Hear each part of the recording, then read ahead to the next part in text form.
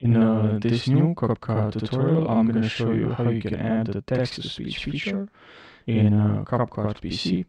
I really hope you're going to find this uh, tutorial helpful. If you're new to my channel, make sure you subscribe and like this video.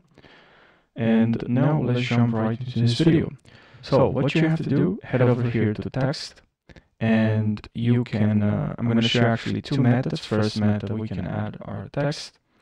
You can write here something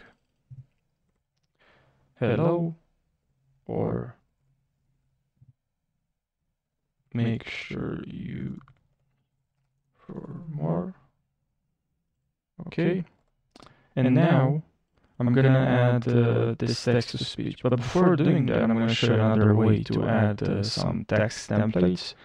if you click on here on text templates I'm gonna choose here uh, title or vlog or chapter. Let's choose this one. Put it here. Okay, if you select this now and you click on text to speech here. So we have text, tracking, and text to speech. And I will choose Jesse. Have a nice day. Look,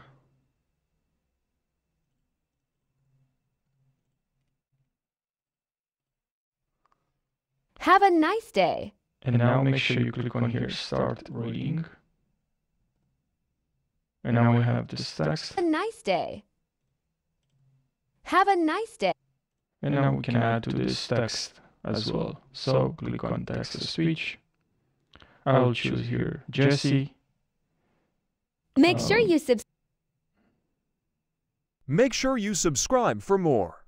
You have more voices here as you can see. American female, Make sure you subscribe for American Make sure you subscribe. Make sure you subscribe for more. Okay, and now you click here on start reading.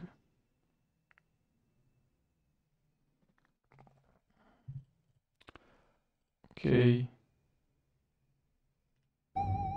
Make sure you subscribe for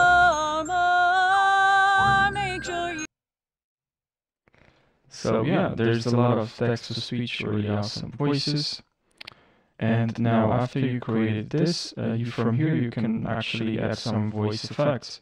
You can add the deep, Nice day. can add the echo. Have a nice day. So yeah, it's pretty cool. I really hope guys you learned something and you found this tutorial helpful. Thanks so much for watching and I'll see you in the next video. Take care.